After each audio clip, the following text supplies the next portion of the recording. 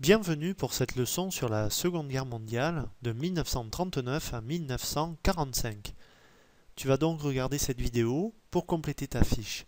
N'hésite pas, lorsque tu as des difficultés ou lorsque tu en as besoin, à appuyer sur la barre espace pour faire une pause et compléter ta fiche. La Seconde Guerre mondiale commence par les attaques de la puissance de l'Axe. L'Axe comprend trois pays. Il s'agit de l'Allemagne, de l'Italie et ensuite du Japon que nous verrons plus tard. C'est donc l'Allemagne qui attaque en premier, puisque le 1er septembre 1939, l'Allemagne attaque la Pologne. Elle utilise pour cela une stratégie tout à fait nouvelle qui va surprendre tous les pays. Tout d'abord, l'utilisation de l'avion pour bombarder et désorganiser les lignes ennemies. Ensuite, l'utilisation du char d'assaut, qui lui va littéralement défoncer les soldats encore présents sur place. Et enfin, on utilise les soldats de l'armée pour nettoyer les poches de résistance.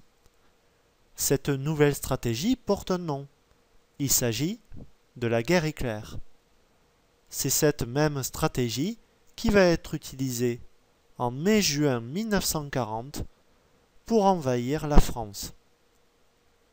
Tu peux par exemple faire une pause à cet endroit pour compléter ta frise.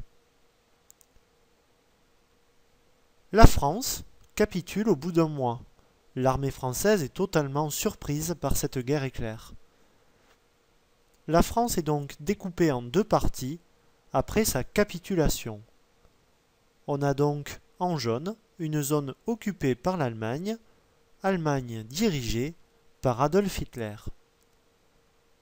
Il y a ensuite la partie sud, dite zone libre, mais les Français ne sont pas vraiment libres en fait, ils sont dirigés par le maréchal Pétain qui a mis en place une politique de collaboration avec l'Allemagne.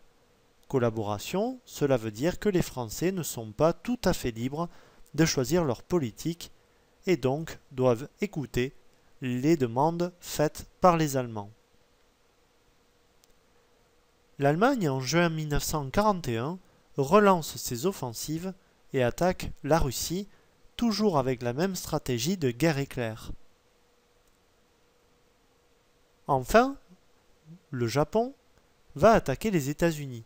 Nous sommes ici en Asie et c'est en décembre 1941 que le Japon attaque les États-Unis sur l'île d'Hawaï dans le port de Pearl Harbor. C'est une attaque surprise qui va donc causer beaucoup de dégâts dans la marine américaine. Il s'agit donc d'une première phase, une première période de cette guerre, de 1939 à 1942, marquée par les victoires de l'Axe, car effectivement, les armées, notamment celles de l'Allemagne, semblent invincibles.